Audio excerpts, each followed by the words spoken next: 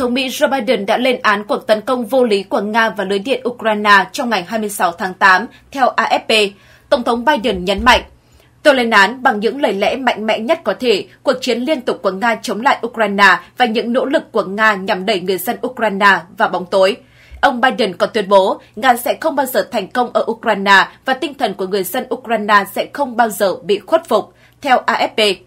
Ngoại trưởng Anh David Lammy cũng đã lên án cuộc tấn công mới nhất của Nga vào cơ sở hạ tầng dân sự Ukraine hôm 26 tháng 8.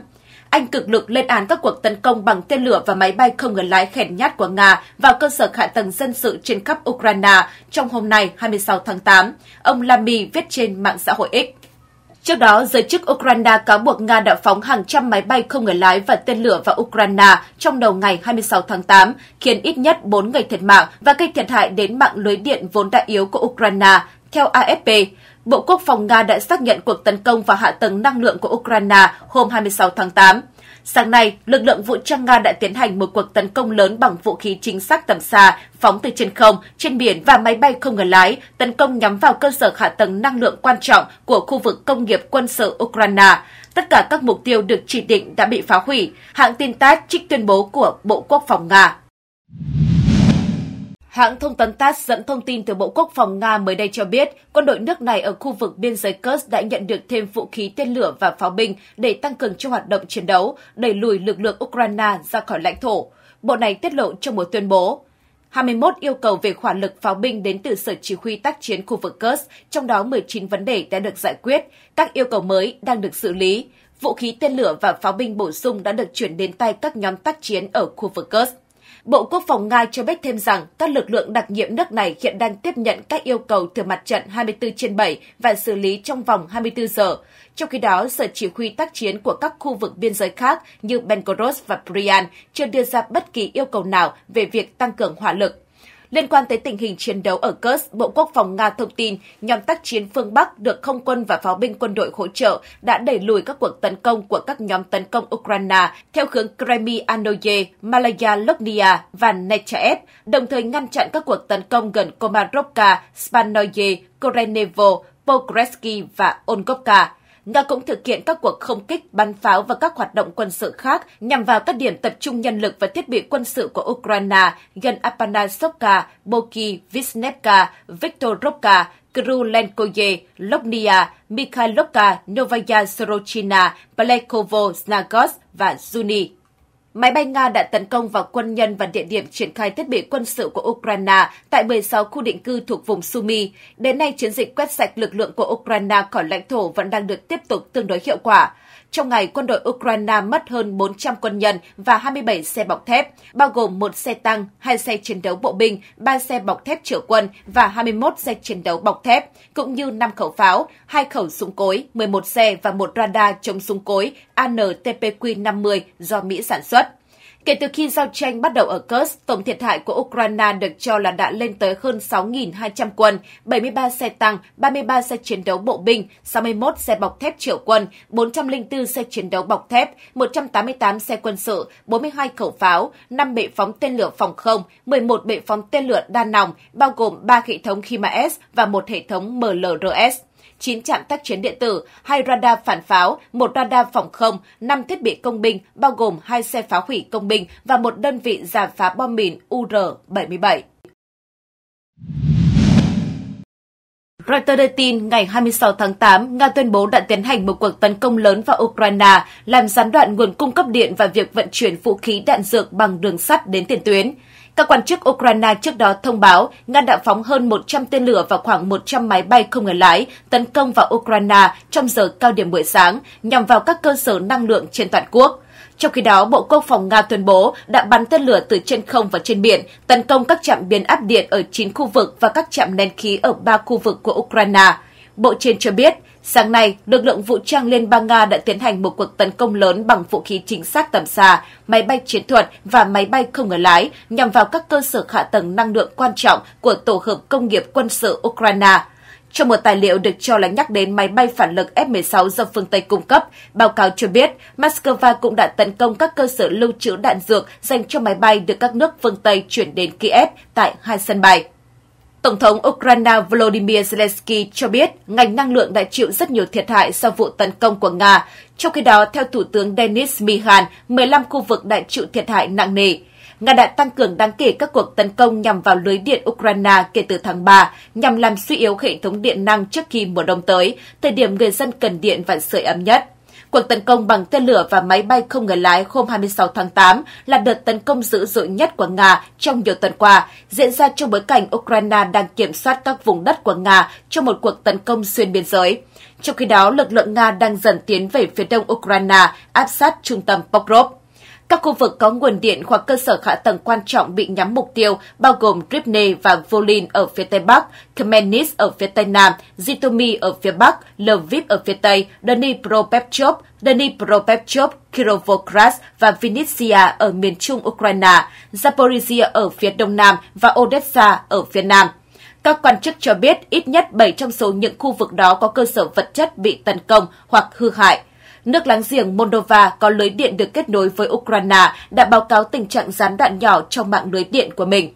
Tại vùng Sumy, nơi Ukraine phát động cuộc tấn công vào Nga vào ngày 6 tháng 8, chính quyền cho biết một cơ sở hạ tầng đường sắt đã bị tấn công nhưng không nói rõ là cơ sở nào. Ukraine cũng nhiều lần sử dụng máy bay không người lái để tấn công các mục tiêu sâu bên trong nước Nga, từ nhà máy lọc dầu đến sân bay quân sự. Ukraine không có vũ khí tầm xa mạnh mẽ kể từ khi cuộc xung đột bắt đầu nổ ra, nhưng nước này đã phát triển nhiều mẫu UAV tiên tiến cùng công nghệ tác chiến điện tử hiện đại. Vào cuối tuần qua, ông Zelensky cho biết Ukraine đã phát triển một mẫu tên lửa không người lái mới, mạnh hơn, nhanh hơn các loại vũ khí khác trong kho vũ khí của Kiev. Hãng thông tấn TASS ngày 24 tháng 8 dẫn nguồn tin từ cơ quan thực thi pháp luật Nga cho hay, lực lượng Ukraine tại Novohorivka, cách thành phố Pokrov, tỉnh Donetsk, miền đông Ukraine, khoảng 11 km về phía đông, đã rơi vào tình thế bị bao vây một nửa. Thông tin được đưa ra chỉ một ngày sau khi Thượng tướng Oleksandr Stanislavovich Sisky, Tổng tư lệnh các lực lượng vũ trang Ukraine, được thăng quân hàm lên đại tướng. Theo tờ Pravda, sắc lệnh thăng hàm có hiệu lực từ ngày 23 tháng 8. Tạp chí Forbes Mỹ cho biết bộ binh Nga đã tiến vào Novorodivka trong ngày 23 tháng 8, ngay lập tức khai hỏa súng phóng lựu hạ gục một xe tăng của Ukraine. Tới ngày 25 tháng 8, báo cáo của Bộ Tổng tham mưu Ukraine cho biết thêm, mật độ tấn công cao nhất đang diễn ra ở Novorodivka. Trong vòng 24 giờ, đã có 58 cuộc giao tranh giữa lực lượng Nga và Ukraine theo hướng Pokrov. Bước tiến quá nhanh của Nga đang đặt Pokrov, thành phố nằm trên tuyến đường tiếp tế chủ lực của Ukraine ở phía tây Donetsk, vào tình trạng nguy cấp. Theo Forbes, các nhà phân tích đã dự đoán được phần nào diễn biến này từ cuối tháng 7, khi Front Intelligence Insight, một nhóm phân tích của Ukraine, thông tin rằng tình hình xung quanh Pokrov đang bị đe dọa. Forbes viết,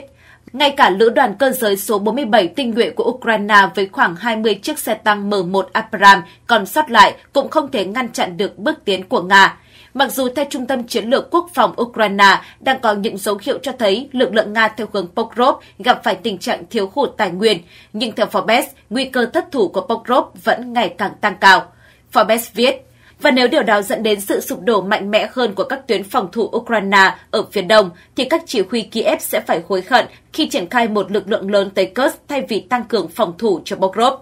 Tạp chí Newsweek Mỹ dẫn báo cáo của Viện Nghiên cứu Chiến tranh ISW công bố 24 tháng 8 xác nhận lực lượng Nga đã tiến rất gần thành phố Pokrov, được cho là đã giành quyền kiểm soát nhiều khu vực lân cận. ISW cho hay các lực lượng đã tiến vào phía đông Kalipka và đông bắc Mykolaiivka đều ở miền đông nam Pokrov trong ngày 23 tháng 6. Bước sang ngày 24 tháng 6, quân đội Nga đã tiến vào vùng ngoại ô đông nam Novorodivka, đông nam Pokrov, dường như chiếm giữ được hội đồng thành phố Novorodivka ở trung tâm thị trấn, đồng thời tiến vào Krasnaya, đông Pokrov.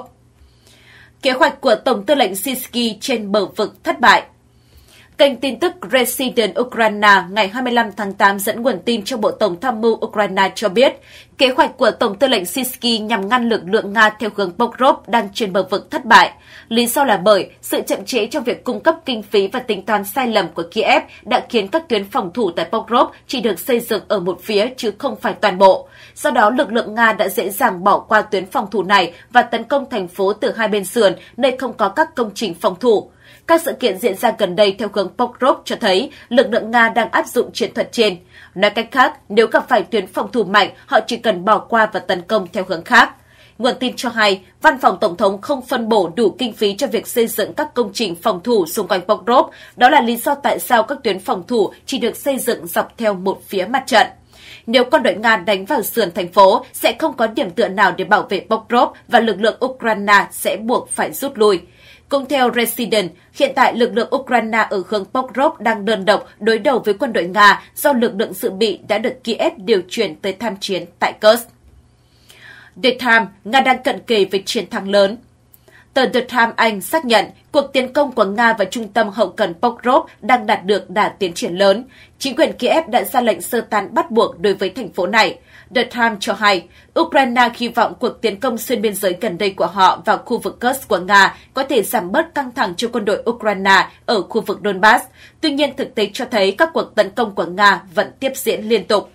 Theo tờ báo Anh, nếu Pokrov thất thủ, đây sẽ là trung tâm dân số lớn nhất mà Nga giành được kể từ khi chiếm quyền kiểm soát thành phố Bakhmut, tỉnh Donetsk vào tháng 5 năm ngoái. Tờ Washington Post Mỹ hôm 23 tháng 8 cho biết, một bầu không khí kỳ lạ đang bao trùm thành phố Pokrov vốn sôi động. Người dân vội vã đi qua các con phố, những chiếc xe chất đầy vali và các món đồ nội thất vụt qua. Còi báo động vang lên trong tiếng pháo kích dồn dập dội tới. Tờ báo Mỹ nhận định, chính quyền Kiev chỉ còn cơ hội cuối cùng để sơ tán người dân ở Pokrov trước khi quân đội Nga tiến vào thành phố.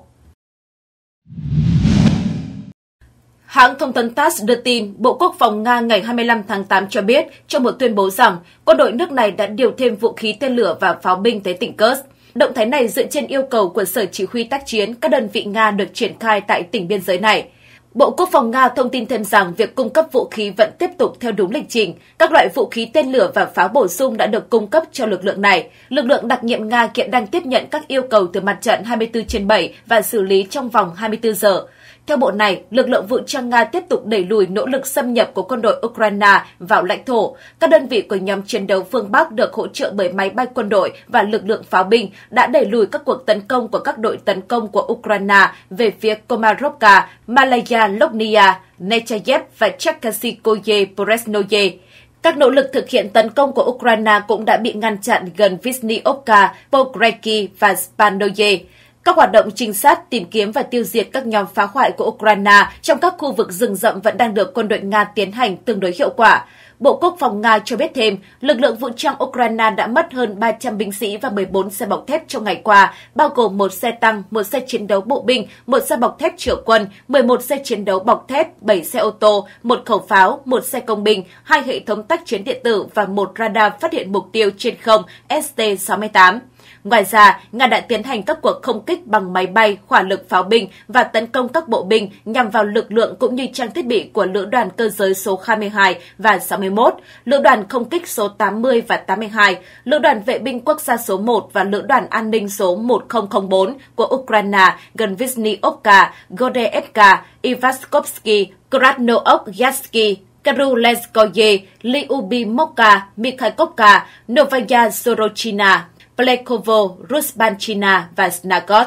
Cuộc không kích cũng đã được Nga thực hiện ở vùng Sumy nhằm vào quân đội và thiết bị quân sự từ lực lượng dự bị của các lữ đoàn cơ giới số 22, 41, 54, 61 và 115 các lữ đoàn tấn công đường không số 80 và 82, lữ đoàn tấn công số 92 của lực lượng vũ trang Ukraine, lữ đoàn vệ binh quốc gia số 1 và các lữ đoàn phòng thủ lãnh thổ số 101 và 103 gần Peloponnese, Polovody, Voroba, Druba, Katerinovka, Pervomaiskoye, Persechepnevoye, Peremoka, Svesa, Sumi, Ukroedi, Yunakovka và Yachebinoye. Quân Nga đã giáng đòn tiêu diệt nhân lực và phá hủy trang thiết bị của lực lượng vũ trang Ukraine tại các điểm dân định cư Visnevka, Godeevka, Ivaskovsky, Krasnookty-Asky, Krulenkoye, Lyubimovka, Mikhailovka, Novaya Sorochina, Plekovo, Rubanchina và Snagos ở vùng Kursk, thông báo mới nhất của Bộ Quốc phòng Nga ngày 25 tháng 8 cho biết. Thông cáo chiến sự nêu rõ, Kết quả những cuộc tấn công đường không, hỏa lực pháo binh và hoạt động tác chiến của quân Nga là đã đánh tan nơi tập trung binh lực và thiết bị của các lữ đoàn cơ giới số 22 và số 61, lữ đoàn dù tấn công số 80 và số 82 thuộc lực lượng vũ trang Ukraine, cũng như lữ đoàn số 1 vệ binh quốc gia và lữ đoàn bảo vệ số 1004 của Ukraine trong các điểm dân cư Visnevka, Gordeevka, Ivaskovsky, Krasnooktiatsky, Krulenskoye, Lyubimovka, Mikhailovka, Novaya Sorochina, Plekovo, Rusbanchina và Snagos. Kiev mất hơn 300 chiến binh trong ngày ở Kherson.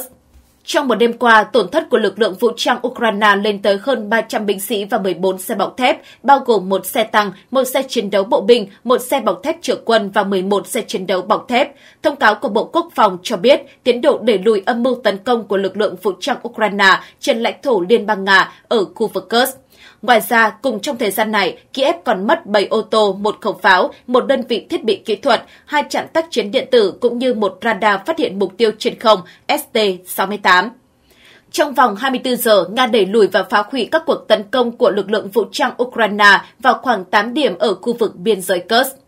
Các đơn vị của nhóm phía Bắc với sự hỗ trợ của hỏa lực hàng không và pháo binh lục quân đã đẩy lùi các cuộc tấn công của các nhóm xung kích đối phương theo hướng các điểm dân cư Komarovka, Malaya, Loknia, Nachaev và Chakasi, Poresnoye. Nỗ lực đột nhập của đối phương ở Visnevka, Boki, Pokresky và Spandoye cũng bị ngăn chặn. Kết quả là lực lượng vũ trang Ukraine mất tới 40 quân nhân thiệt mạng và bị thương, một xe tăng, bốn xe chiến đấu bọc thép và hai ô tô bị phá hủy. Thông cáo của cơ quan quân sự Nga nêu rõ đang tiếp tục tiến hành hoạt động trinh sát tìm kiếm để xác định và tiêu diệt các nhóm biệt kích của đối phương trong các khu rừng đang cố gắng xâm nhập sâu vào lãnh thổ Nga, Bộ Quốc phòng Nga lưu ý. Máy bay Nga tấn công nơi tập trung chiến binh và khí tài của các lưỡng đoàn Ukraine ở vùng Sumy. Các phi đội hàng không tác chiến chiến thuận đã thực hiện cuộc tấn công ở khu vực Sumi, giáng vào điểm tập trung chiến binh và khí tài quân sự của lực lượng dự bị từ các lữ đoàn cơ giới số 22, số 41 và số 54, số 61 và số 115 lữ đoàn dù tấn công số 80 và số 82, lữ đoàn xung kích số 92 thuộc lực lượng vũ trang Ukraine, lữ đoàn 1 vệ binh quốc gia cũng như các lữ đoàn phòng thủ lãnh thổ số 101 và số 103 của đối phương trong các khu định cư Polopove, Polovody, Voroba, Katerinivka, Obody, Povoymaskoye, Brechapnevoye, Peremoga, Svetsa, Sumi, Ukroedi, Yunkovka và Yatchebinoye thông báo cho biết. Kể từ khi bắt đầu giao tranh ở hướng Kursk, lực lượng vũ trang Ukraine đã mất hơn 5.800 quân nhân. Tổng cộng trong thời gian giao tranh ở hướng Kursk, đối phương đã tổn thất hơn 5.800 quân nhân, 72 xe tăng, 31 xe chiến đấu bộ binh, 58 xe bọc thép chở quân, 383 xe chiến đấu bọc thép, 177 ô tô, 37 khẩu pháo, cơ quan quân sự Nga tuyên bố. Ngoài ra, lực lượng vũ trang Ukraine còn mất 5 bệ phóng hệ thống tên lửa phòng không, 11 bệ phóng của tổ hợp phóng loạt tên lửa, trong đó có 3 tổ hợp phòng không HIMARS và một tổ hợp MLRS, 9 trạm tác chiến điện tử, một radar phản pháo, một radar phòng không, 5 đơn vị kỹ thuật điện tử, bao gồm hai xe phá chướng ngại vật và một thiết bị giải bom mìn UR-77. Tổng thống Ukraine Volodymyr Zelensky nói trong một buổi họp báo gần đây, cuộc xung đột không thể kết thúc bằng điều gì khác ngoài việc khôi phục toàn vẹn lãnh thổ của Ukraine và ngăn chặn một cuộc tấn công vũ trang mới của Tổng thống Vladimir Putin và Nga. Về phần chúng tôi, chúng tôi sẽ làm hết sức mình để buộc họ chấm dứt cuộc chiến này bằng con đường ngoại giao để ít người phải hy sinh hơn ngay từ đầu. Nhưng nếu chúng tôi không thành công, các đối tác làm chúng tôi thất vọng. Nếu họ không kiên quyết và quyết đoán chống lại các hoạt động quân sự của Nga, thì chúng tôi sẽ làm mọi thứ để đảm bảo quân đội của chúng tôi sẵn sàng đẩy đối phương ra khỏi lãnh thổ của nhà nước chúng tôi. Ông Zelensky cũng đưa ra kế hoạch chấm dứt xung đột với Nga bằng biện pháp ngoại giao dựa trên công thức hòa bình, được thảo luận tại Hội nghị Thượng đỉnh Hòa bình ở Thụy Sĩ hồi tháng 6. Hội nghị lần đầu tiên này tập trung thảo luận về các vấn đề được nêu trong công thức hòa bình Ukraine, bao gồm an ninh hạt nhân và lương thực, cũng như hồi hương trẻ em Ukraine được cho là còn ở Nga trong số các vấn đề nhân đạo. Trong một buổi phỏng vấn với đại diện truyền thông Ấn Độ hôm 25 tháng 8, Tổng thống Zelensky cho biết ông muốn thấy một số bước đi ngoại giao nhất định liên quan tới việc kết thúc xung đột Nga-Ukraine, nhưng không phải là ngoại giao được đánh đổi bằng 30% lãnh thổ. Ông Zelensky nói, tôi tin rằng cách tiếp cận của chúng tôi nếu nói về các bước đi trên cả chiến trường và theo hướng ngoại giao thì sẽ gần với hòa bình hơn bất kỳ đề xuất nào khác. Bất cứ khi nào ai đó nói về một giải pháp ngoại giao, tôi luôn ủng hộ. Tất cả chúng tôi đều không muốn bất kỳ người lính nào, một người dân nào của chúng tôi phải hy sinh trong tương lai. Tuy nhiên, Tổng thống Ukraine cũng cho biết thêm rằng đàm phán hòa bình với chính quyền Tổng thống Nga Putin hiện chưa có kết quả. Ông cũng nhấn mạnh cuộc xung đột giữa hai bên chỉ có thể kết thúc nếu toàn vẹn lãnh thổ của Ukraine được khôi phục. Ông Zelensky đồng thời bày tỏ sự ủng hộ với việc tổ chức hội nghị thượng đỉnh hòa bình lần thứ hai tại một số quốc gia Nam bán cầu và đã đề nghị tổ chức tại Ấn Độ. Vào cuối tháng 7, nhà lãnh đạo Ukraine cũng từng tuyên bố rằng nước này sẽ hoàn thiện kế hoạch vì hòa bình vào cuối tháng 11 năm nay.